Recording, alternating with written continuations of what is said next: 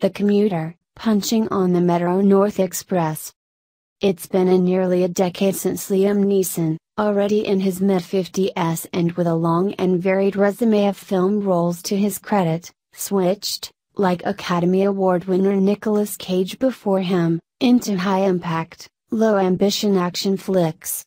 He'll still show up for a Scorsese movie or a Lego movie, and, one hopes, the Lego Scorsese movie, now and then, but he has played more alcoholic slash widowed slash divorced slash guilt hobbled ex cops or ex killers at this point than Denzel Washington and Bruce Willis and Melissa McCarthy combined.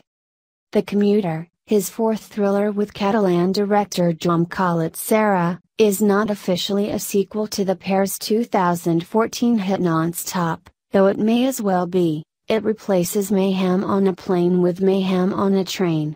In Non-Stop, Neeson was a New York cop turned alcoholic air marshal. This time, he's a New York cop turned